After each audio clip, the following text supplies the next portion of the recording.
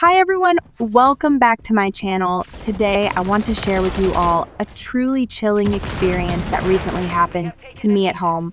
I still get goosebumps thinking about it. It was late at night and I was about to head to bed when I heard strange noises coming from this hallway. At first I thought it was just my imagination playing tricks on me, but then things took a terrifying turn. Just at the series, the light started flickering and I felt a cold chill down my spine.